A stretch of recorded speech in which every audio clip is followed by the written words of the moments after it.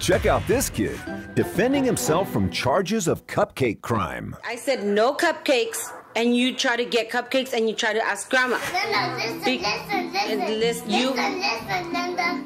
Listen. Okay, what? Like everything they do at this house, you can't trust everything at grandma's house. He's right, you can't trust anything at Grandma's house. The fruit is wax, the couch is covered in plastic, and her hip, it's not even hers. Linda, listen, Be- listen, listen. and listen, you- Listen, listen.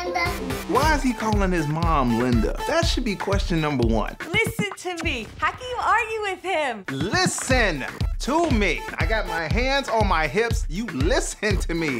Linda. This is exactly how I sound when I come home. But Linda, Linda, Linda, Linda. Linda. Linda, Linda, Linda, listen, listen. listen to me. No, you listen to me. But Linda, honey, Honey. honey, He's every guy I've ever dated. I didn't do anything, baby. Listen. honey, look at, look at this. Honey, come on.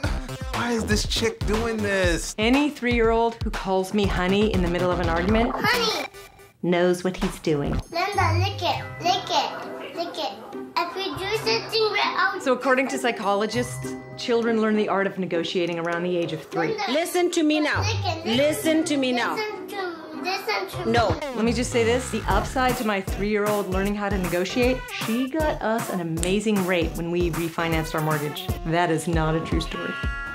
I'm done speak- arguing with you. Linda, I'm done arguing with you. I'm done arguing with you. Linda, honey, sweetie. There's gonna be a horse's head in your bed tonight, Linda, if you don't let me have a cupcake. Yeah, lady, you should be barefoot and pregnant in the kitchen. Calm yourself down now. Let the men deal with the cupcakes, okay? Come on, honey. Keep it moving. Let's go. Hustle up. Hustle up.